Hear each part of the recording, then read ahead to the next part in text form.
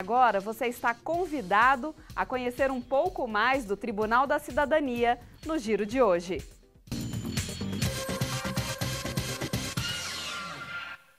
A comissão encarregada de elaborar o anteprojeto de reforma do Código Penal foi instalada em outubro do ano passado no Senado. Um dos desafios mais graves com que se deparará esta comissão é a falência do sistema de segurança pública no Brasil. O Código Penal não pode ser uma abstração que se aplica a um número reduzido de criminosos, mas deve se aplicar a todos os criminosos. 16 juristas receberam a missão. O responsável por presidir os trabalhos é o ministro do Superior Tribunal de Justiça, Gilson Dipp. Ao aceitar o desafio, enfatizou a importância da atualização do código criado há 70 anos. A última reforma, apenas da parte geral, foi realizada em 1984. Para o ministro, o conjunto de normas é ultrapassado frente às mudanças vividas pela sociedade brasileira. Nós não podemos conviver com penas injustas, com penas desproporcionais privilegiando a pena privativa de liberdade em detrimento da restritiva de direitos. Nós temos um sistema penal altamente é, espalhado, com várias leis especiais. Precisamos sistematizá-los, precisamos enfrentar tipos penais novos que são do presente e se projetam para o futuro.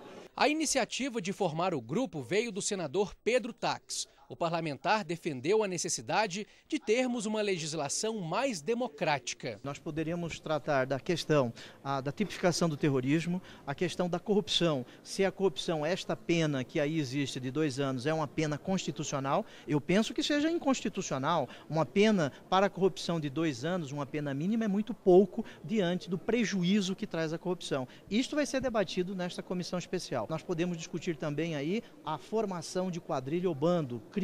Lembrem-se que o código é de 1940, nós estávamos em 1940 pensando para uma sociedade que era sociedade rural, o tipo penal de quadrilha ou bando ele foi criado pensando no bando de Lampião, 1940. Hoje nós temos o chamado crimes transnacionais, nós temos crimes que são praticados por vários, em vários países e isso precisa ser representado no Código Penal. A comissão dividida em três grupos tem discutido os temas separadamente crimes em espécie, que são contra a honra e a vida, parte geral, que envolve as penas aplicadas e os regimes de cumprimento, além das leis extravagantes, ainda não incluídas no Código Penal. Vão ser seis meses de intensos debates e a população pode contribuir. A comissão está aberta ao público em geral, aos segmentos representativos da sociedade civil e, para isso, tem realizado audiências públicas. São Paulo foi a capital escolhida para sediar a primeira audiência pública. A segunda, no Senado Federal em Brasília,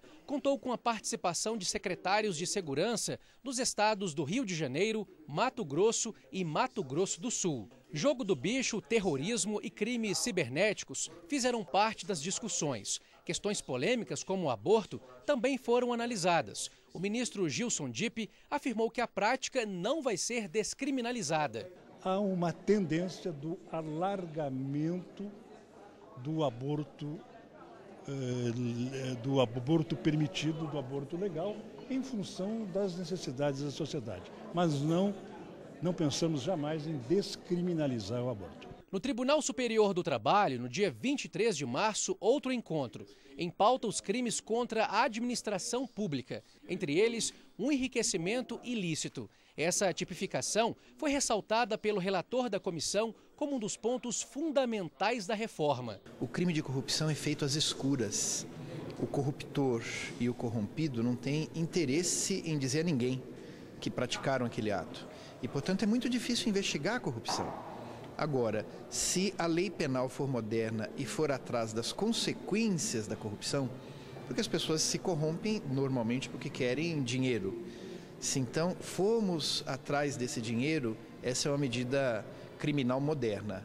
Os juristas têm até o final de maio deste ano para apresentar as propostas de alterações ao presidente do Senado. Depois disso, uma comissão interna formada por 11 senadores será criada. Os parlamentares vão transformar o anteprojeto em projeto de lei. Lá na comissão, o projeto fica aguardando emendas dos outros senadores pelo prazo de 20 dias.